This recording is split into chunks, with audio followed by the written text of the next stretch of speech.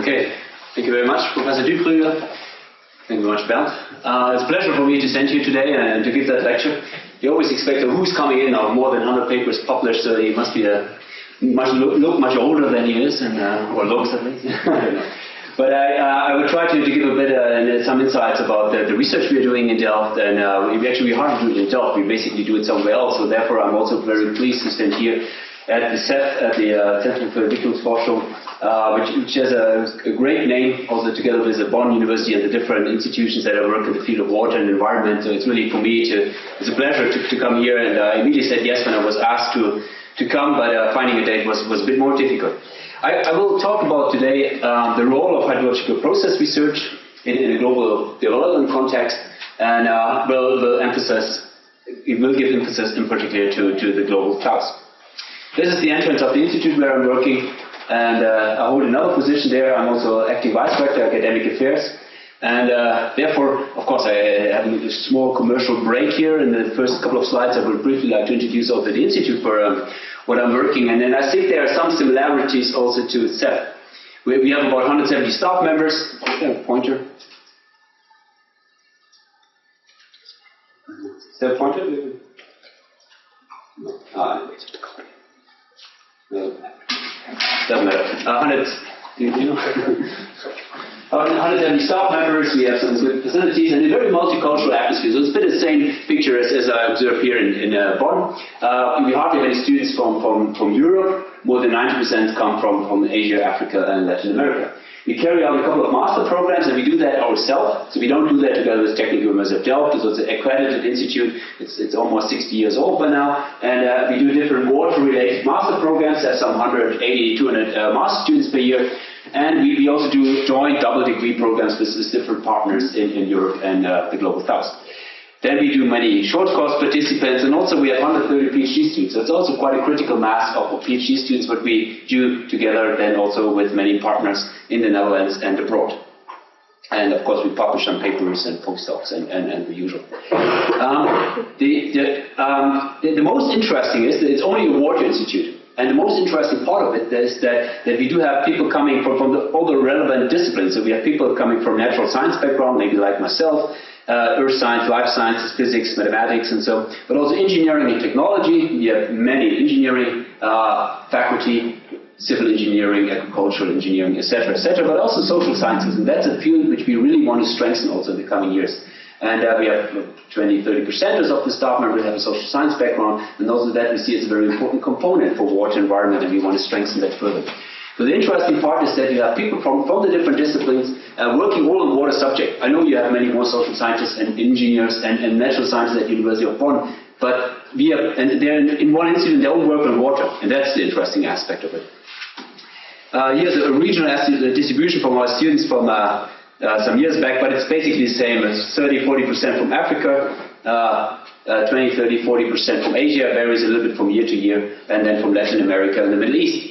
Um, others means North America and Eastern Europe. So we students from, from, from Western Europe, but more from the east or southeast of Europe.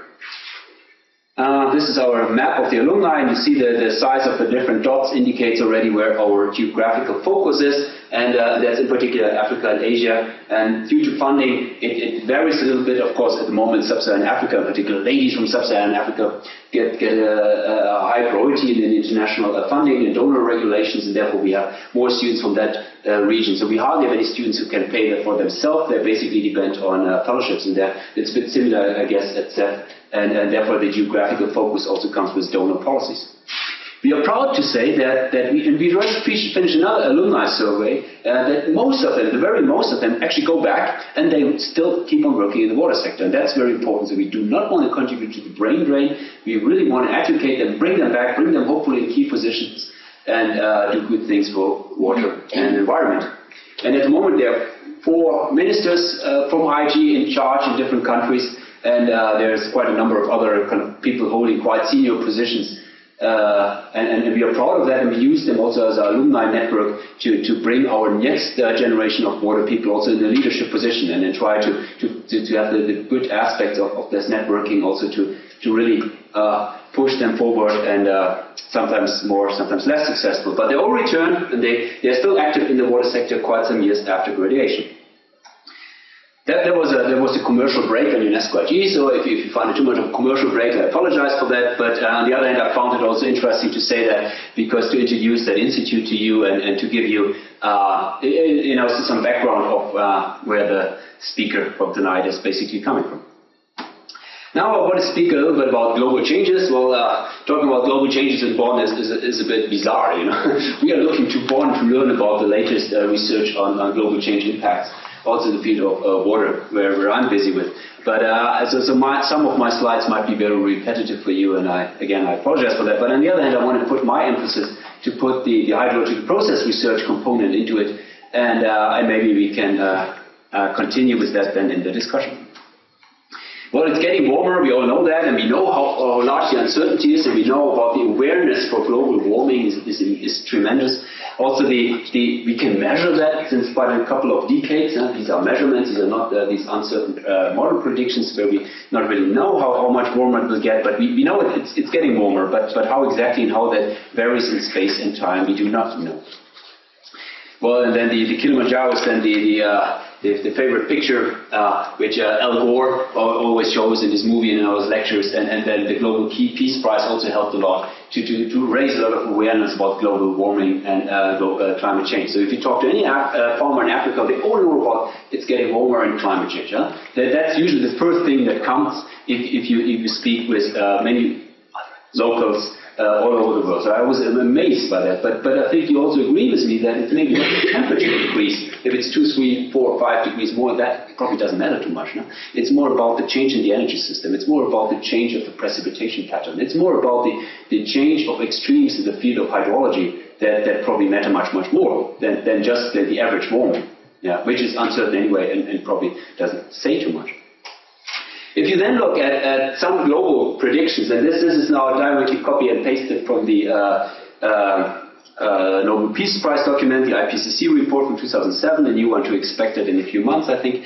And uh, uh, what we see here, you see that according to an, an uh, an average out of the 12 best climate models what we have here, um, that some regions get wetter, yeah, they, they, they, they, they, uh, they likely generate more runoff, other, other areas get drier, usually the Mediterranean area, for instance, or yeah, uh, southwestern US and Mexico and so on. But, but what does that say? You know, and, and this is the, the, the, quite a robust estimate from the best 12 climate models we have, and that's the mean annual runoff for, for some 20 years in the future according to one of the scenarios. But of course, you show a different scenario you look at each of the 12 climate models separately, and they all have a different pattern, of course. Yeah. But is the annual mean runoff over 20 years, is that really an interesting parameter? I don't think so. Well, if you look, this is a, a, a hydrograph in, uh, measured in Jordan. Uh, this is ours. You see here the, the discharge increases for maybe two, three hours and goes up to a peak discharge before it was zero, then you have a falling limb, and, and then uh, it's, it's nothing again, maybe for the next year. Now that, that's how a hydrograph looks like. So the, the 20 years average for that is it doesn't tell us very much. It's all about the dynamics, about the peak runoff, about the total volume, about the the the uh, uh, the, the oops, the, the rising limb and the falling limb and how many, how much water of that infiltrates and actually become groundwater recharge. These are much more interesting parameter than just the average over 20 years, which is a completely misleading and, and not very useful picture. And then also if you look at this picture, well, it's a Sahara Desert, maybe uh, increase of 40% discharge, mean annual discharge. Well, well, you know, 40% increase of nothing is, is still very, very little. So it also, again, doesn't tell us too much. So it's all about trying to interpret that and, and downscale that to, to local scale and, and be able to, to predict something uh, according to water resources. Um, it's probably another main driver to changes is, is the, uh, the demographics, huh? the, the population increase, and it doesn't matter if you look on the left-hand side on the relative growth or the absolute growth. And uh, both are positive except in Europe, so we are actually uh, uh, decreasing, if that is true here, that number, huh, since, uh, since already some years, and it's likely to decrease further. But in particular, the green line is quite striking. That keeps on being positive, and uh, also in absolute growth, at least for the next decades, uh, population is uh, increasing. But it's not so much if we probably have 10 billion people on this planet in a, in a couple of years from now. It's more about um, where do they live? How do they deal with the resources? What is the age distribution of these people? And uh, uh, what do they eat? Also, to some extent. Here you see another picture um, uh, which shows the relative increase of people in urban areas. I show the urban areas because of this picture from La Paz. Maybe some of you have been there. And, and not all these neighborhoods are, are properly designed and, and, and, well maintained by, by well educated trained uh, graduates here from and University of Bonn. No, no, no. Something just, you know, people just settle somewhere and uh, uh, deal with the resources as good as they can. And what you see here in this picture is that uh, it's, it's getting more urban, yeah, probably from 50 to some 60% in, in uh, 20 years. Yeah, we, we know that. And interesting is that in Europe and Latin America, it's already a very urbanized society, huh? and that the relative increase is small compared to Africa and Asia. Here you have the much larger relative increases in urban population, and the, the, the growth in, in, the demographics is, input, is directly correlated to people living in peri-urban areas in, in, in, large cities in Africa at least. So that, that's, these are the challenges, and that's what we have to deal with. Will there be enough water for everybody? I'm still in the general global change introduction, and uh, well, nothing new uh, talking about this institute, and I'm very pleased to see that land use is here quite, quite, quite prominent on the, on the research themes of uh, ZEF, and, and, we know that, that uh, growing enough food and uh, having enough land resources directly depends also on the water resources. And uh, you see here maybe a, a data set which you have seen before. You see here the, the meat consumption in, uh, in different parts of the world. And if you look at that globally in the last um, 50 years or so, it probably doubled huh, from, from 20 to some 50 or uh, 40 or so. Uh, USA it seems to be stabilizing their, their meat consumption if, if, you believe in these projections. However, places like China, so it's really enormous. You know, maybe we have a Chinese uh, uh, colleague here in the audience, and uh, it, it, it is amazing. So it's it's it's tenfold uh, the, the amount of meat that is consumed in China nowadays than, than it was uh, previously. Therefore, food sufficiency is is a big big um, issue, but it's also water resources. So China needs to import a lot of fodder nowadays to just be able to feed all the animals or, or, or import the, the, meat directly to, to be able to uh, uh, enable food security. And uh, then the, the, the, link between food and water is always how much water is needed to produce so many kilocalorie, uh, uh, kilocalorie uh, of food. And then the, the, the questions I, I, usually ask in my, my introduction lecture to first year students is then, uh, so what do you think, how much water do you need for, for uh, a kilogram of beef? Anybody knows? I, I know some know, but what is that? What order of magnitude are we talking about? How many liters of water do we need to produce one kilogram of beef? What do you think? Professors have to uh, be silent for a moment, because they know. Nobody dares to uh, make an estimate yet. 4,000 liters. 4,000? Yeah, 4, yeah who, who, gives more? well, it varies a lot where, where, where the, the cattle or uh, where the pasture land is, but, but there's some estimates going up to 20,000 liters of water for one kilogram of beef. Yeah. If you eat chicken, then you yeah, then you your the backpack of water a kilogram of chicken if you eat a whole kilogram is is lower than we talk about seven thousand liters of water for one kilogram of chicken. Yeah.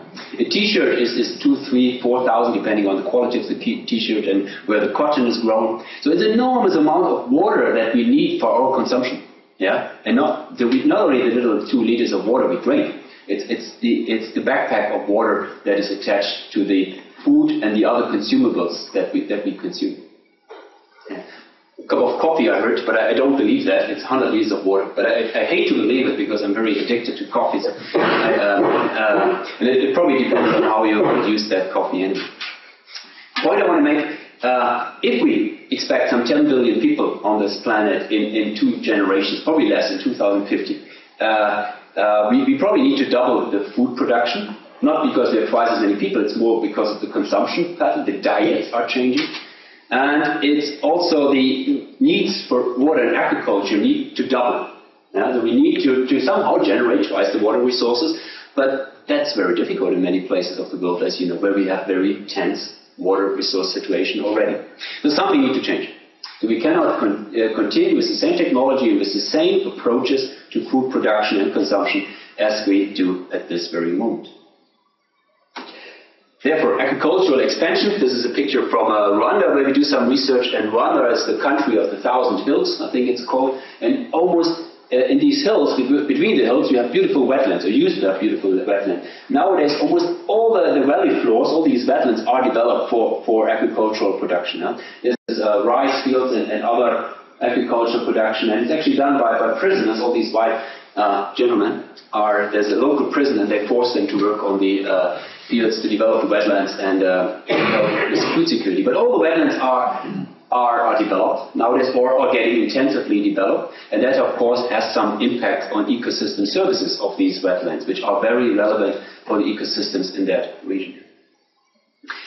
Then we, we, we create a lot of dams, and, and in particular, if you travel to Africa, you find many people busy with that business at the moment. Also, many Chinese colleagues are busy there with, with hard, hardcore hydraulic work.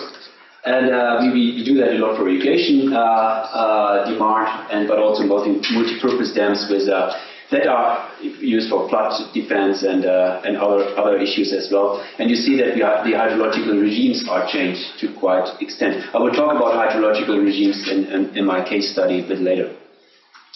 Uh, and one one aspect which which I always like to mention. I, am I'm, uh, quite involved in, in, the project in the Mekong. The Mekong is in Southeast Asia. It's shared between China, Laos, uh, Cambodia, Thailand, and uh, Vietnam.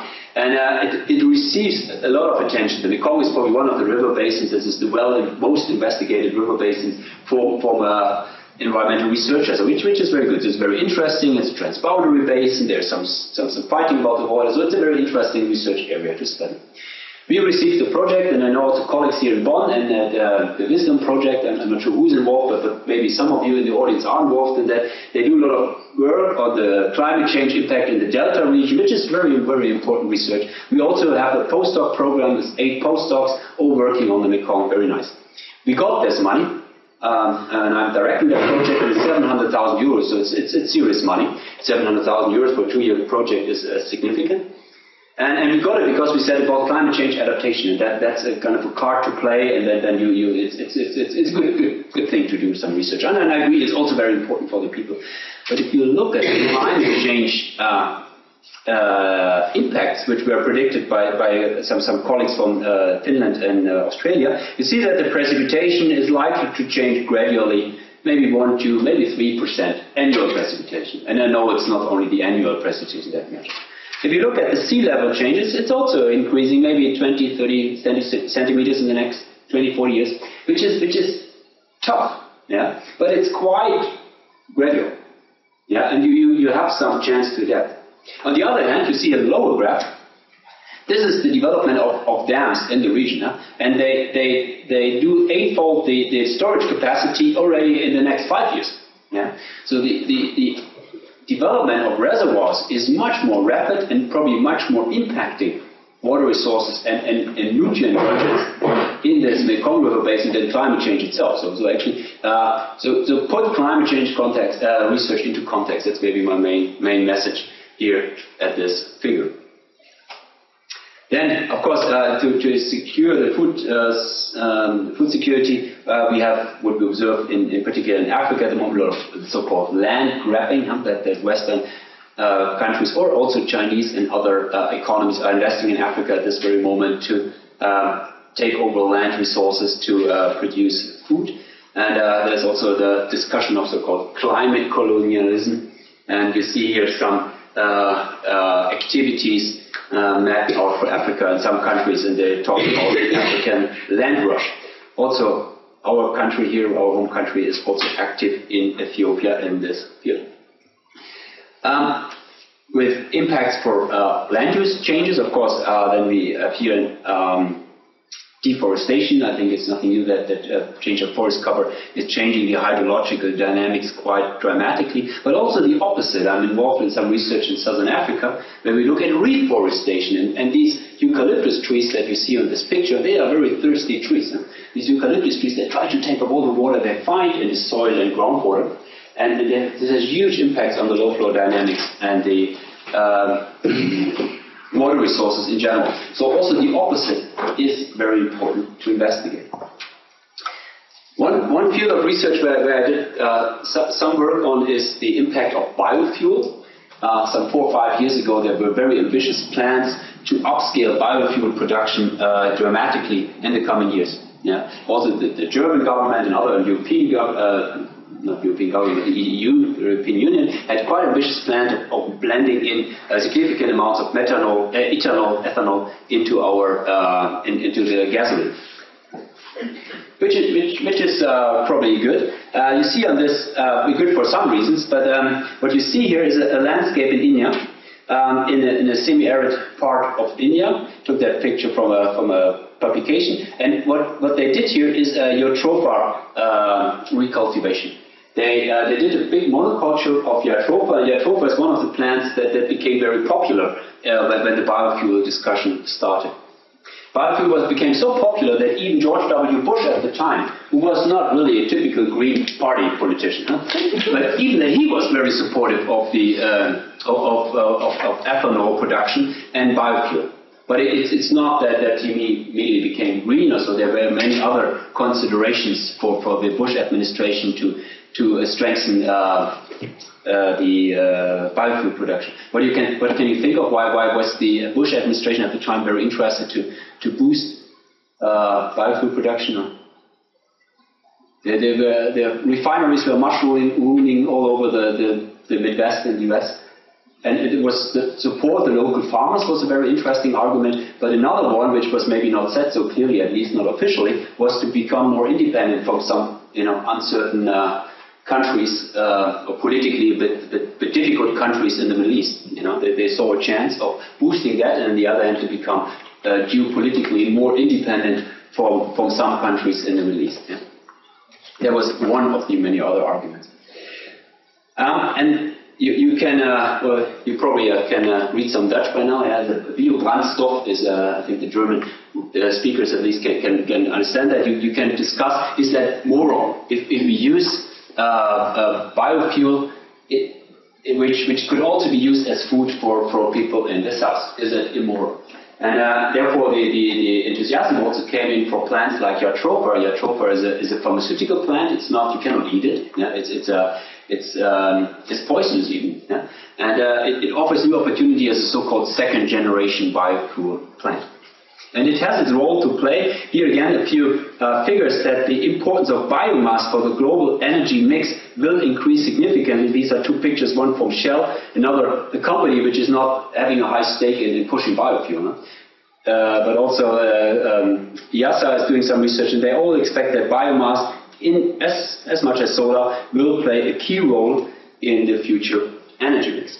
So coming back to my uh, Jatropha example, is, is the following. Uh, now, now we look at this picture for a moment with our hydrological glasses. So put on your hydrological glasses and not only think about how that change in the land cover changes the, the, the ecology or uh, people's job opportunity, also like what, what would that mean hydrologically? And uh, you probably all agree that the evaporation from the interception flux is much larger in this type of landscape than in this area. You have more canopy cover, and of course more water can sit on the leaves and can evaporate that. So that, that's an easy one, that the, the evaporation on interception is probably much larger. The transpiration is probably also much larger on the left-hand side and on the right-hand side. The right-hand side you hardly have any vegetation, therefore less, much less transpiration than in the left picture. While the soil evaporation, that's the evaporation directly from the soil, is probably much larger in this area than in the other one. Yeah? So you see that all the evaporation fluxes already change through the land cover. Yeah? We can continue like this. The soil storage is maybe larger on the right, uh, excuse me, on the left-hand side because you have more roots, fine roots in the, in the soil, and, and there's more storage capacity in the left, in the, in the uh, recultivated area than in the right area. Maybe the groundwater recharge is larger in this area than in this type of area. It's the same landscape, only three years later. Huh? Uh, maybe it was much larger before the groundwater recharge than there, because here much more water is used, excuse me, here much more water is used for evaporation back to the atmosphere than there. And if, if the soil physical conditions allow groundwater recharge, then probably is more recharge happening here than on the right hand side. So again, all the dynamics are changing. Exactly, I don't know. Maybe it's also the other way around, depends on the local soil physical conditions. Maybe the surface runoff, if this is work on with uh, heavy machinery, then, probably the topsoil is very compacted and you have more surface runoff generation than in this area, at least if you have sandy soils that, that suggest also uh, infiltration. Again, it could also be the other way around and depending on the, the, the specific local uh, land management techniques. Though it could well be that the overall discharge, if we include the groundwater recharge, uh, the overall discharge out, of this landscape is much larger than in this area. Huh? So for downstream water users, the upstream development of Jatropha could, could well be uh, less positive than people try to look at it.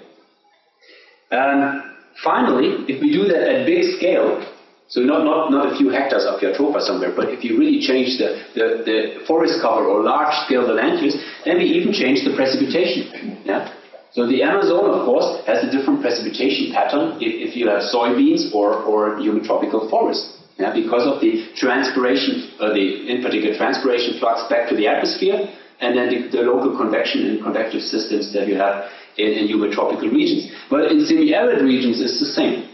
So if you if you change the land use at big scale, you also change the rainfall pattern.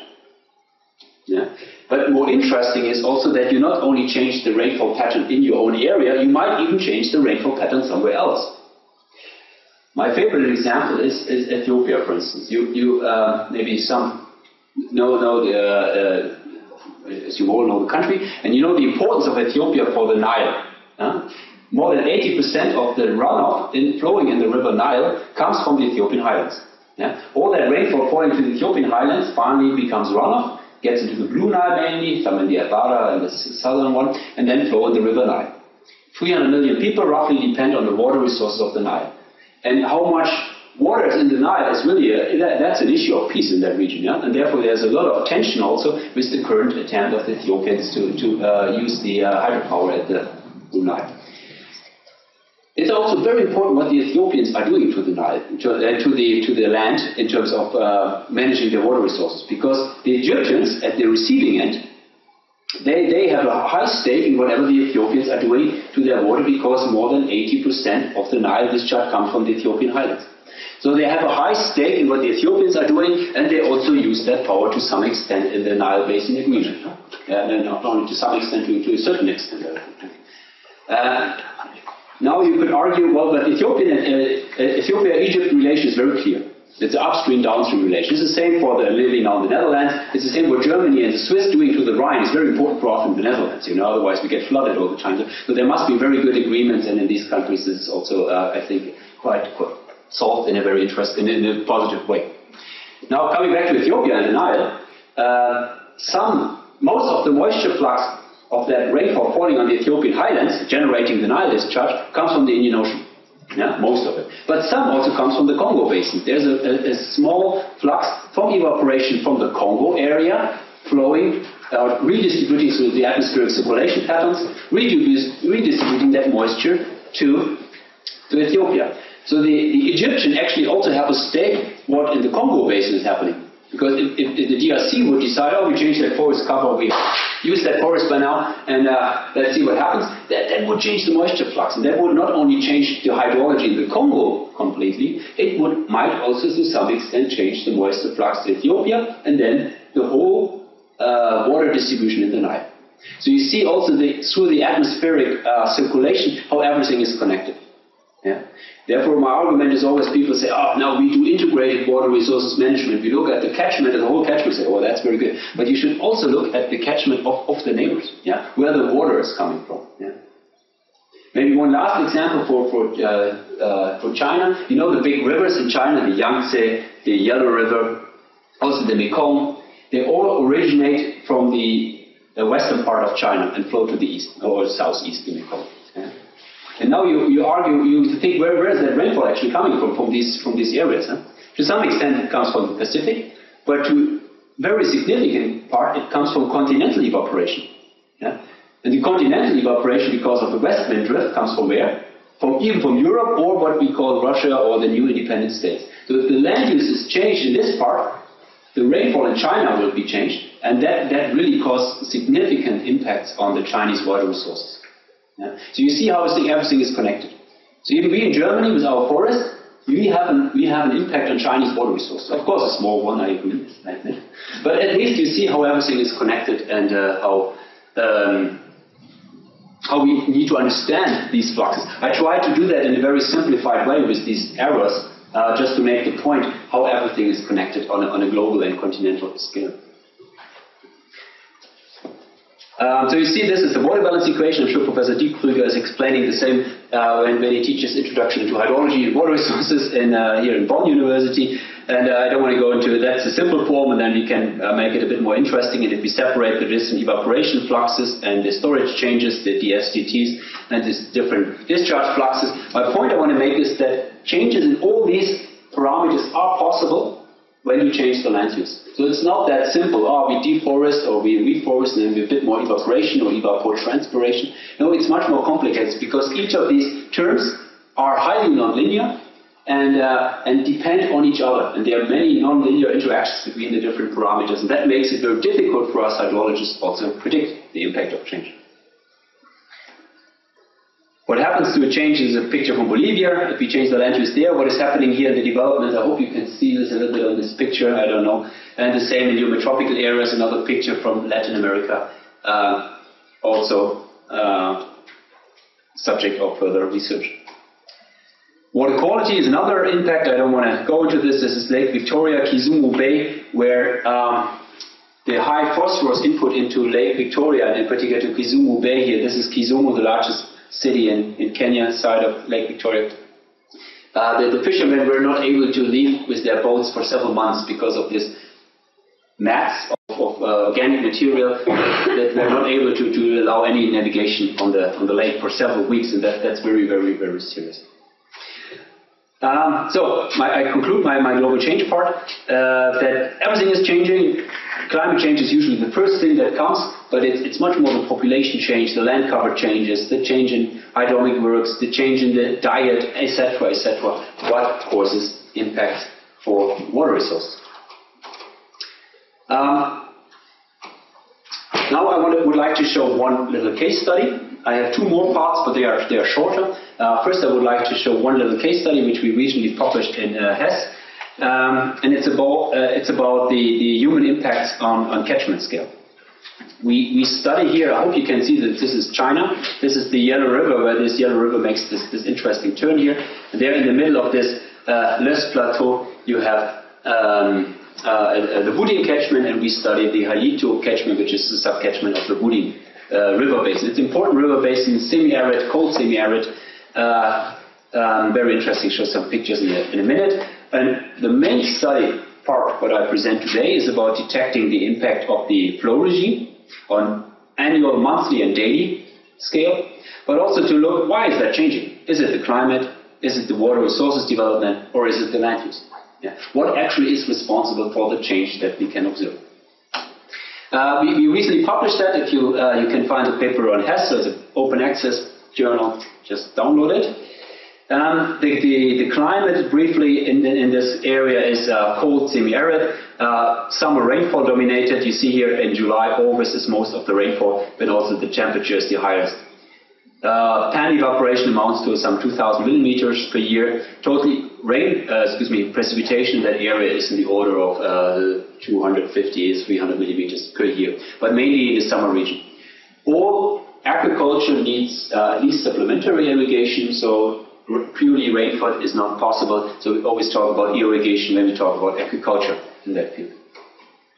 Here you see uh, us working, well, you see me taking the pictures and the others do all the hard work. You know, that, that's the advantage of professors. They travel and come for one week and, and the others uh, really have to suffer and do all this. And what we, what we do there is uh, we study uh, transpiration fluxes at different tree species and, uh, and salix, um, the bushes. Then we, we study meteorology, hydrology, soil, soil water uptake, and we also looked at isotopic composition of soil water and groundwater, and we're studying when which trees take from which water resources. So when do they depend on groundwater? When do they depend on soil water? How is that changing during the seasons? And what does that mean for, for reforestation efforts? The Chinese do quite some to, to, to, to fight the desertification. They do quite some reforestation efforts there, which is, which is maybe interesting or very good for many reasons. But we were studying what does that mean for the trees, where do they take the water from, and uh, uh, which species are uh, acting how. I will, I, I will love, I, uh, you have to invite me again in a few years. We have two, three papers in review at the moment on this, also the isotope work we are doing, but I will not speak about that today. I would like to speak about the changes in the runoff regimes. Now we look now at catchment scale instead of the plot scale, and we observed quite some interesting changes. You always have the same time scale here. This is the 50s and the 60s. Then we had higher discharge. It's the mean annual runoff. I apologize for this small, small legend here. Uh, we have a larger annual discharge, also much more variability, much more changes. Also, the standard deviation of monthly discharge is much higher. That's before uh, water resources were developed, before reservoirs were built, before um, big agricultural development happened, or big at least development. You see then it's going down over the years. We found with statistical analysis several phases where the discharge were reduced or the variability was reduced, and, uh, and we found one time in the 90s where it was actually the lowest. Yeah. I come to the reasons in a minute. In a minute. Discharge was the lowest, variability was the lowest, annual peaks were the lowest, etc. We also did uh, some some statistical text, Pettitt test, and, and, change point analysis, and all these uh, tricks. All is written up in the paper. I don't want to go into detail. And we found that before the late 60s was maybe the natural regime in terms of variability, and then there were several other phases where we found several change points in the 80s, in the 90s, 2001 is an important one where also a number of different parameters changed. I, I, skipped the statistical details. Yeah, also we did some, some harmonic uh, analysis, time series analysis. I skipped the details as well. Also you see the flow duration curves and you see quite different flow duration curves in these different years. So the runoff regime changed. It was very variable, much more water, then it became less, and uh, became very low, then it became more again. Why? And why did that flow regime change? Is it just the natural variability of the climate? That's the first what you change, what you check. This is the precipitation. Uh, we, we, we, invested quite a number of different precipitation parameters. It's all in the paper, and we didn't find any change. So it's not the change in the rainfall pattern. Yeah. Then we looked at temperature, yes, and it's getting a little bit warmer in the last years. Well, that's, that's not unfamiliar to us. We talked about global warming. It's getting warmer. We also observed that there. But not, it didn't change in the 60s and the 70s so much in that region at least. At least the data we got after, I don't know how much searching for it. And so the, the, the, the meteorological pattern is not responsible for these changes. Interesting is that the crop area changed quite interestingly. Well, we only got aggregated data on uh, uh, kind of uh, municipality level. Not, not, not detailed data for every field, but, but at least there were quite some interesting uh, significant change points in the, in the crop pattern. You see this here, which coincide with the change in the discharge. So the suspicious thing is now, oh, probably the land cover changes are responsible for the discharge changes. Um, interesting is now if we then look also at the Chinese policies. Huh? And China is a beautiful country. where they do a policy, they really do it. It's not like here in Europe where we first discussed, I don't know, for how many years, and then uh, find a compromise and maybe do it differently again because the government is in space. But, but in, in, China, it can be quite quite drastic. Yeah, and, and that's that's uh, that's interesting. Um, you, you see uh, the changes, and then the, the change of the policy to uh, cultivate terraces uh, had was, was issues in the, in the 70s. And interesting, at the same time, we found also a change in the crop pattern, which actually went down, more terraces were built, but also the annual water resources then uh, were, went down, and which is maybe also coinciding with the, some smaller reservoirs that were developed in this region. Interesting is also that there was a policy on uh, irrigation development, so the, the crop area significantly went up in that area, and that really coincides with the lowest annual water resources and other biological parameters that we were investigating. Again, this cannot be explained by climate change. It can probably be explained with the change in the crop pattern. And then in, the, in 99, there was a policy to return farmland to forest. And, and you see, you know, that, that's what I mean. You know, China is an interesting country because you see immediately how much it dropped then within years. Yeah? And, uh, and that you would not observe so drastically in, in Europe. Therefore, you again see these patterns here as well. So let me conclude this study. um, what are the reasons for the flow regime shifts in the, in the semi-arid catchment? We first detected four major flow regimes. They can mainly be explained by the impact of land use policies in China and not by climate change, climate variability, and uh, has probably large impact on groundwater dependent ecosystems. That's what we are studying at this very moment, where we instrumented different trees and bushes and uh, looked at isotope composition of the water, etc. Okay, have now the last part of my, my lecture. Is, is it okay if I speak for another uh, 10 minutes or so max? And then I, I conclude it. Um, I, I, would like to speak as, uh, you know, I, I, said before, I'm acting Vice Director of Academic Affairs, so I have to look after the education programs uh, at, at, also what we do jointly with, with many partners around the world. Uh, I, I, developed quite some interest in, in, that how do we educate actually the next generation of people, what, what do they need to know, and, and what, what maybe we should give them as, as a baggage, as skills and competencies. Um, and if, if you look at, at the, the, challenges in hydrology, they may be not so different if your own interest is mainly on, on land use or on soils or I, I don't know. Uh, you see quite a number of buzzwords uh, coming uh, that, that we have to think about coupled system, nature, human nature systems, that we have to think about cradle to cradle uh, approaches, that we kind of think in, in cycles. Well, the, we, the Green Party in Germany talks about this in the 80s, so it's nothing new. But, but now um, it, it's the general policy that we think in cycles, that we think about how to reuse energy, how to reuse uh, nutrients, how to reuse water resources, etc. And we think that uh, basically what, what it means for water education is a systems thinking, that people understand hydrological systems in the relation to other systems and how systems interact. I talk about human systems, agricultural systems, ecosystems, etc. And how do they add, add to each other and how do they compose a completely integrated, holistic way.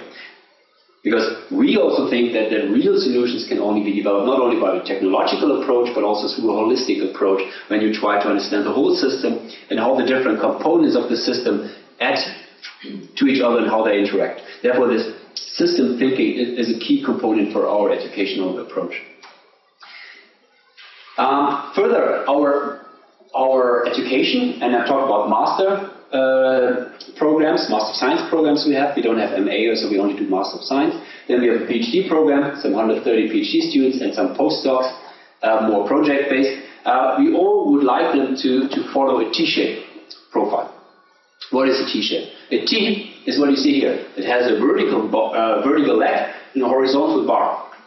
The vertical leg stands for the, the, uh, the, disciplinary understanding, the cognitive understanding of your chosen discipline. Maybe you, you studied, you're interested to become a hydrologist here or a physical geographer, whatever, at Bonn University, so the, the, your, uh, your, you, you, you selected that, you want to specialize in geomorphology, it doesn't matter which subject, but that's the understanding of geomorphology, what you need. Uh, that's the, the vertical leg.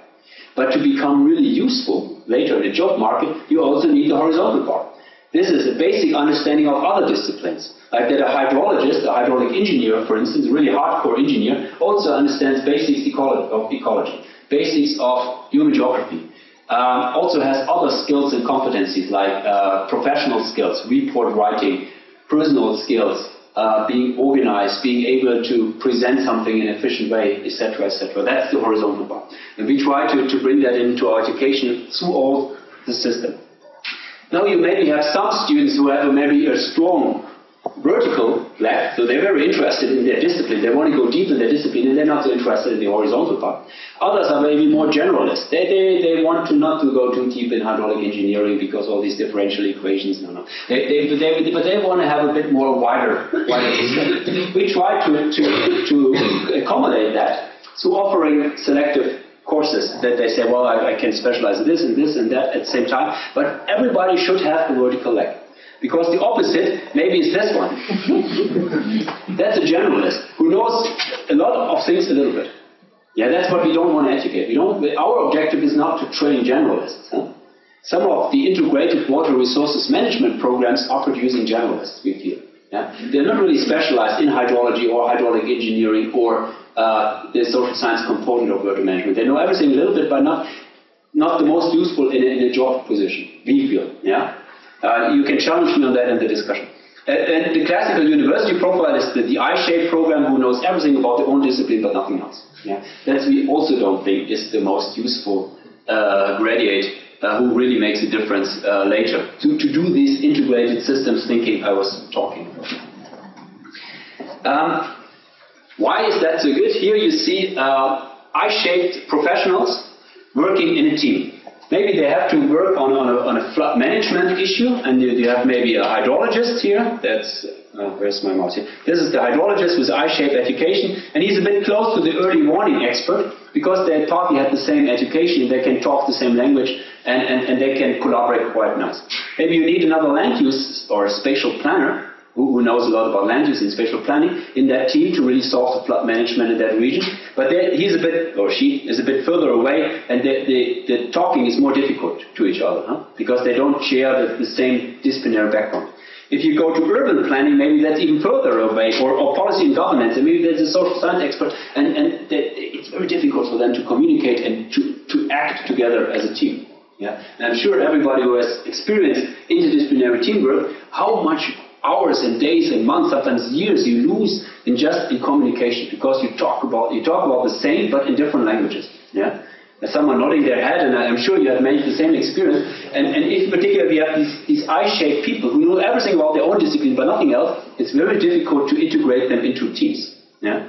Therefore, our T-shape then, hope they maybe have a little, little bit less long vertical leg, so they, they, they know less about hydraulic engineering or about uh, uh, governance or whatever they study. But they have the horizontal bar. The idea is that the horizontal bar enables them to, to work better as a team, to communicate better with each other. Huh? So that these T's then at the top uh, enables them to, to have better efficient communication and a better, better team approach. Because it's more than only the disciplinary depth. And we, we feel that this is also needed for PhD studies. You can challenge me on that in the discussion. Um, I'm happy to expand on that. But let me come to the uh, conclusion. Well, there was, as my last example I want to bring that I conclude. Uh, sometimes you have these papers which really kind of are uh, influence your thinking. So I was reading uh, this, I found this paper uh, a bit more than a year ago, and, uh, and it was about the collective intelligence factor for the performance of human groups. At the time, I was responsible for, for uh, um, restructuring our education. We are so busy with that, but I'm, I, kind of I try to lead that process. We are thinking about how do we educate our students to become most effective as, as professionals later. And uh, it's not that I understand social science very well, or that, that I usually read science papers of, of uh, human intelligence, but this is an interesting paper. I tried to summarize that paper in one slide. Um, what they did in this paper, they studied uh, about 700 people, they, they uh, randomly group them into different groups, two to five persons. These are typical teams. Later, in a professional context, you have to work with, with small teams to work on something. Is it flood management or is it uh, land use practices in Ghana or, or whatever? Yeah? Usually, you have small teams to be effective. And the same you have at, at, at big industries often. Yeah? You at Ford or at, a chemical industry, you also have small teams that they have to work together. And if they don't work together, and if they are just driven by their ego, then that's not most efficient. But uh, so what they did, they put these people artificial into these groups, then they put them on some exercises, they gave them some visual puzzles or some brainstorming exercises, uh, making collective judgments as a group, that's another uh, uh, test or exam that they gave them. Also negotiating over limited resources.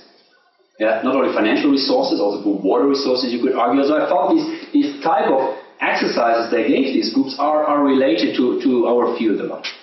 Also, they gave some, some design tasks, architectural design tasks, but, but also designing irrigation scheme, you could argue, is a design task and has some relation to uh, architectural design problems, maybe. So that's what they them, and then they analyzed the results.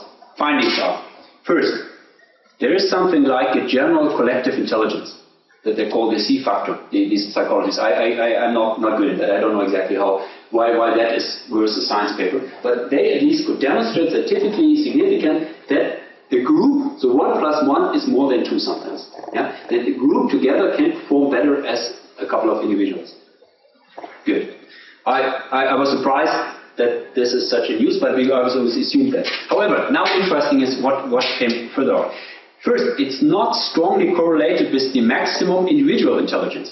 So if you have one very well trained, very smart person in your team, the overall team performance is not necessarily better.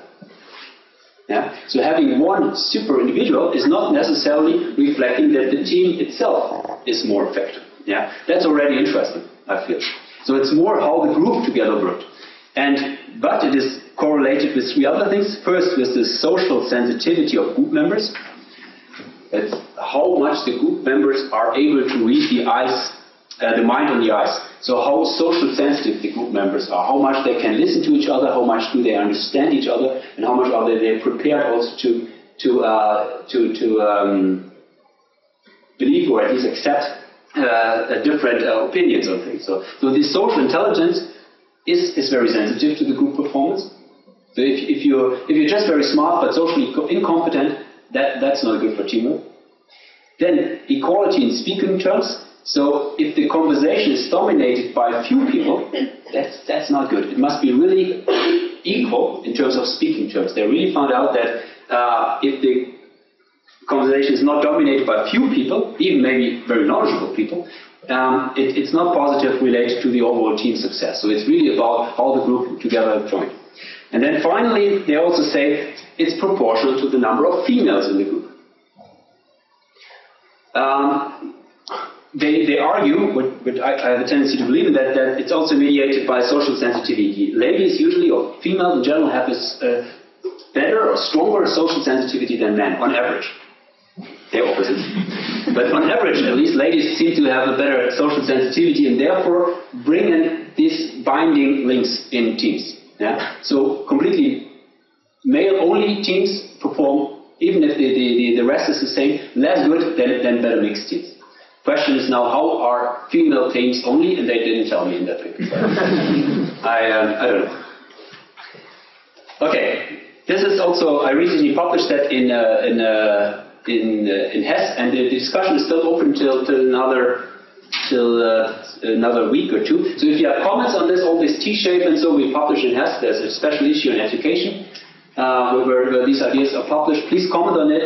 Um, I hope not too tough for me, therefore invite you, but constructive good criticism is always uh, uh, wanted. Feel free to comment on this paper. Let me conclude my lecture. Uh, I hope I was able to explain that the world is changing for quite a number of reasons. So climate change is usually the first one that comes up, but it's many more changes that, that are uh, relevant. Predicting the hydrological impacts is, is, very, very difficult. I try to illustrate that with this picture for biofuel impacts, yeah, how complex hydrological processes are and how these simplified errors I was drawing on this, on this, uh, on this picture, how, how, actually how they interact, yeah, and how many nonlinear processes are dominating their, their interactions. It's the interaction between climate, water, land use, humans, policies, etc., etc. Also in the Chinese example, I try to stress the importance of uh, land use policies. I think in particular the global south is uh, exposed to quite some challenges. Um, I feel capacity development education is, is one of the solutions to, to, uh, to, to, be able to, to deal with it. It's one of the so-called no regret measures. Finally, I, I, hope I was able to make my point that, that I believe that systems thinking is, the, uh, is, is, a useful concept to structure your education and uh, that uh, we believe that this T-shaped competency profile is a useful competency profile to, to aim for in our educational programs. Good. Thank you very much.